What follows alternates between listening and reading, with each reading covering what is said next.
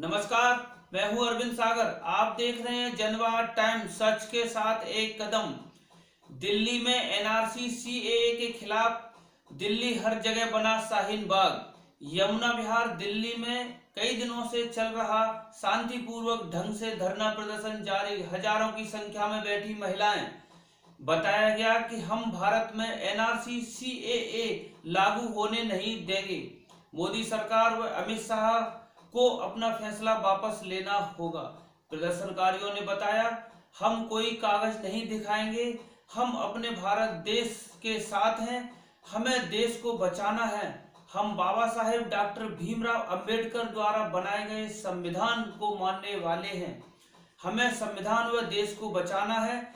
शांतिपूर्ण कर रहे प्रदर्शनकारियों का मानना है कि जब तक बिल वापस नहीं होगा तब तक प्रदर्शन जारी रहेगा। देखते हैं संवाददाता अरविंद सागर की रिपोर्ट। आ रहे हैं कि क्यों आज लड़ना ज़रूरी है?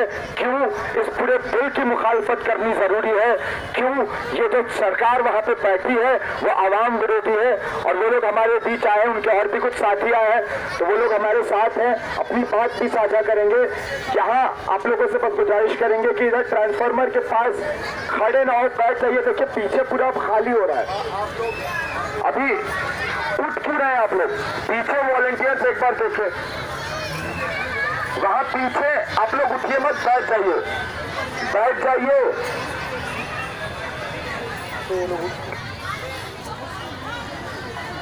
हमारे जो वॉलंटियर्स आगे खड़े हुए हैं और जो साइडों में खड़े हुए हैं, उनसे मेरी रिक्वेस्ट है कि यहाँ बीच में आ जाए और व्यवस्था बनाए रखने में हमारी जो है हेल्प करें।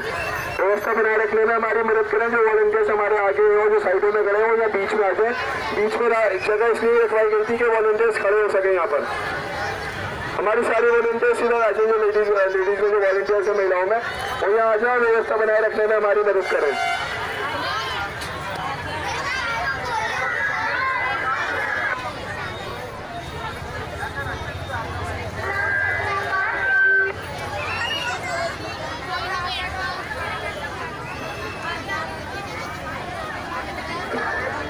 देखिए पीछे बैठ जाइए आप लोग।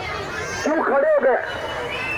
अभी हमारे बीच और भी कई लोग आ रहे हैं, लगातार बातचीत ज़रूरी करनी है। आज ही आप लोग लग रहे हैं, यहाँ पे उठ के जा रहे हैं। खत्म हो गया क्या सीए? पीछे से कोई बोल रहा है, शायद खत्म हो गया। एनआरसी वापस ले लिया सरकार ने। वापस हो गया? अरे तो लोग जा रहे हैं, उनको लगता है अफवाह फैला दी किसी ने कि वापस हो गया। पीछे वॉलेंटियर्स बता दें, अभी खत्म नहीं हुआ एनआरसी। अभी भी मोदी वही बैठा है सत्ता में और आरएसएस अभी भी लोगों के दिमाग में जहर घोलने का काम कर रही है। इसलिए बैठ जाइए ये लड़ाई हम लोगों ने शुरू की है तो ऐसे बार बार तुरंत तुरंत उठ के नहीं होगा। बहनों से सबसे अपील है वॉलेंटियर्स की बात सुने और बैठ जाए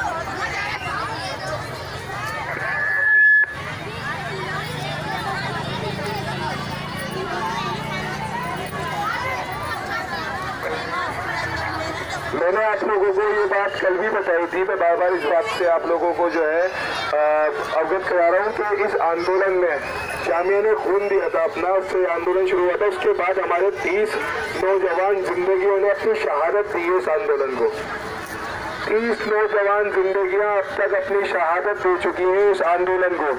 तो उसके हिसाब से माहौल यहाँ पे थोड़ा संजीदा रखें और जो शांति बनाए रखें। वो तीस नौजवान ज़िंदगी वो अपने लिए नहीं लड़ रहे थे, वो आपके लिए और हमारे लिए लड़ रहे थे।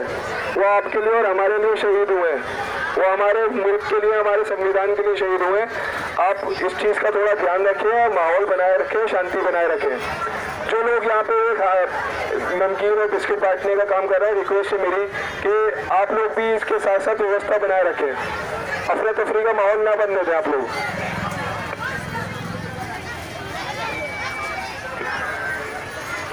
लगाएँगे, पर मैं एक दो बार के बाद चुप हो जाऊँगा अगर मुझे समर्थन नहीं मिला। क्योंकि आज़ादी के नारे में मज़ा ही तब आता है जब आगे से लेके पीछे तक सारे लोग एक साथ आज़ादी बोले। अरे हम जो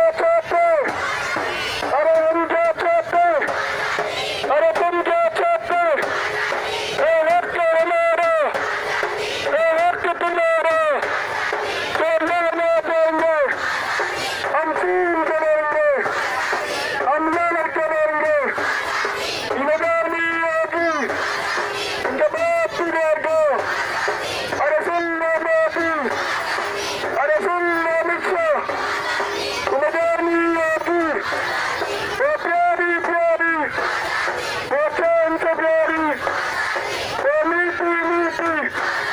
Arza the Kandydat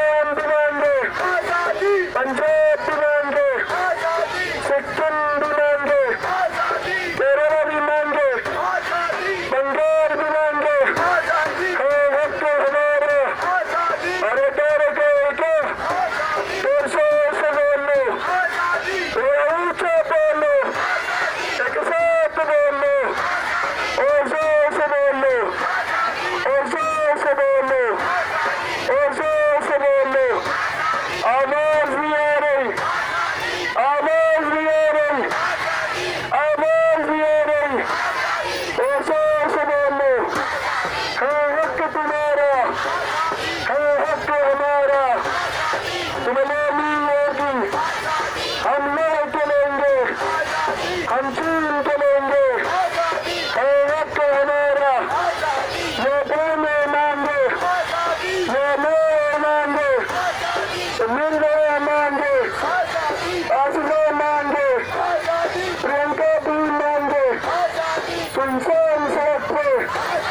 Amen. Amen. Amen. Amen. Amen. Amen. Amen. Amen. Amen. Amen. Amen. Amen. Amen. Amen. Amen. Amen. Amen. Amen.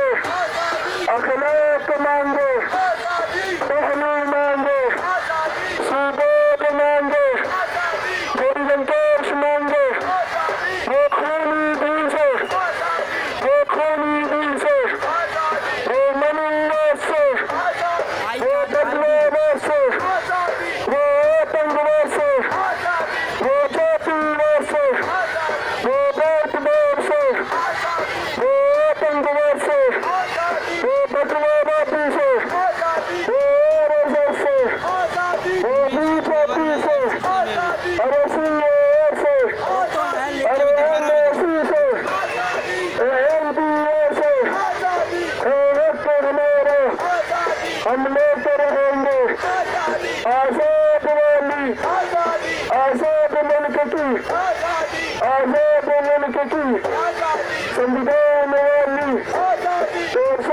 बोलो अपसारो बोलो ऊँचे बोलो और ऊँचे बोलो और ऊँचा बोलो अरे सुन लो मोदी अरे सुन लो मिश्रा और ज़ोर से बोलो अरे सुन